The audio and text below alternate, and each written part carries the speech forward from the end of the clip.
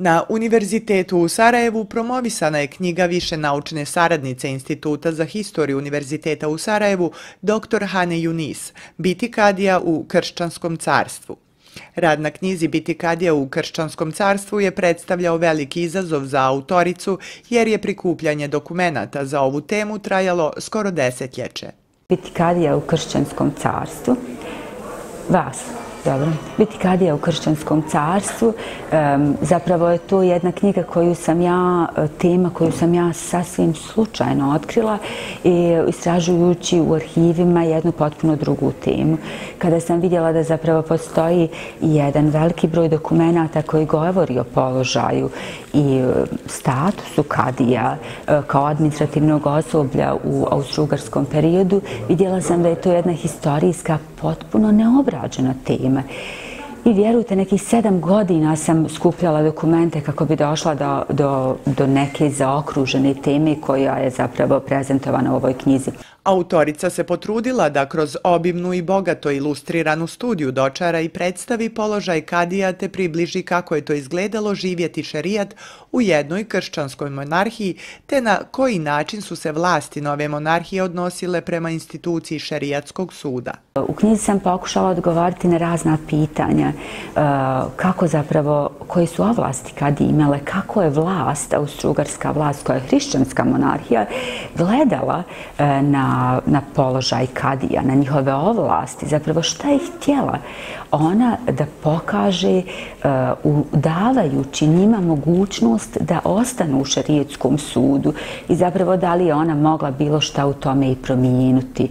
Ona, pokušala sam to sagledati kroz, kroz, kroz četiri tematske cijeline koje u suštini govori o tome koje su ovlasti oni imali, kakve su probleme imali, uh, uh, kako je bilo biti kad je kroz, kroz e, statističke podatke uspjela sam pronaći 24 godine kompletne podatke svih 53 kotarska šarijetska suda i to tabelarno prikazati u potpunosti. Tema šerijatskih sudova u Bosni i Hercegovini pod austro-ugarskom upravom je veoma značajna i do sada nije bilo monografski obrađena, a nove trendove u historiografiji i pravnim naukama slijedi dr. Hana Junis u svojoj knjizi. Ono što će se desiti 1878. godine i dalje u vrijeme okupacije, a nakon toga i aneksije, bio je novi fenomen, a to je da islamsko pravo nastavljaju da primjenjuju državne sudije, ali više ne državne sudije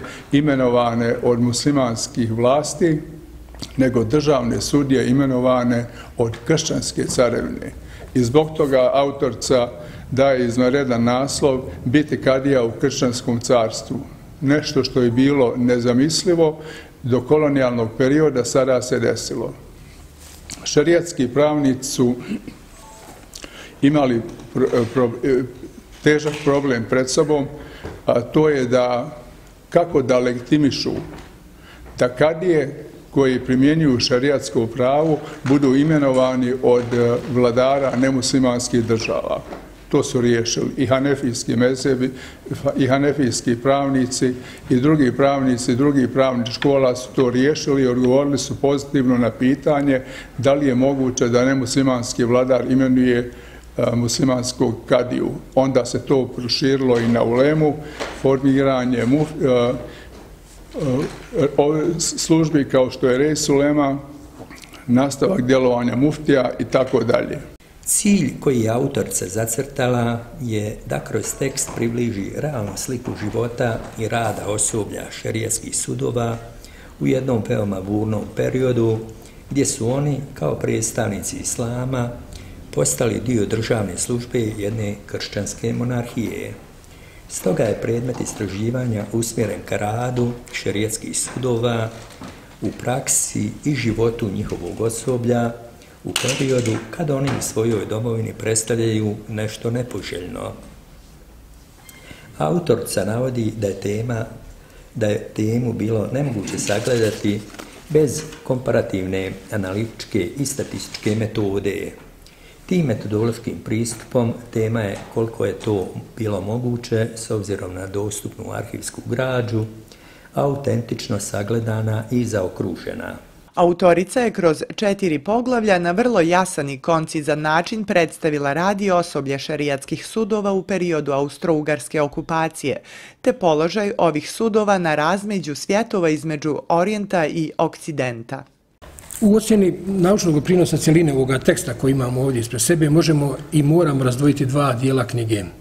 Opći dio koji pozicionira muslimane i njihove sudove u kršćanskoj državi, tome je posvećena pristupna glava kao i kontekst i određene opaske i zaključci u, u, u cijelome tekstu, od drugog obimnijeg glavnog dijela knjige koji rekonstruira rad šarijanskih sudova, sudske slučajeve te administrativni društveni položaj i život kadija i drugog osoblja šarijanskog suda.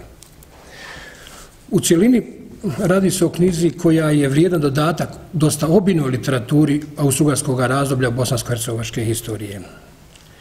Autorica je najvećoj mjeri korištenjem konkretnih primjera iz prakse, na što su kazali i moji uvaženi prethodnici, na osnovu arhivske građe i dominantno iz perspektiva perspektive Kadije Širijaskog suda, uspješno rekonstruirala način na koji su rješavana brojna važna pitanja u vezi sa širijaskim sudovima i porodičnim pravom bosansko-hercegovačkih muslimana, počevši od pitanja egzistencije šarijatskih sudova i njihovog djelovanja u teškim okolnostima smjene vlasti, teškoća s kojima su susretali šarijatski sudovi i šarijatski sudci, nedovoljno jasno, definiran, nedovoljno jasno definiranih njihovih ovlasti, te konkretan rad šarijatskih sudova iz obje perspektive i sudije i stranaka, dati doprinos definiranju elite muslimanskog stanovništva.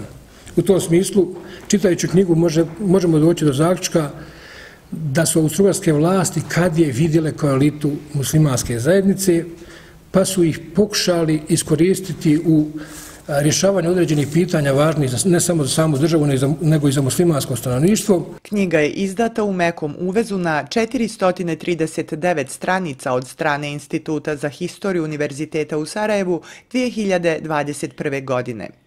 Recenzenti knjige su profesor dr. Fikret Karačić i profesor dr. Zijad Šehić, a glavni i odgovorni urednik je dr. Sedad Bešlija.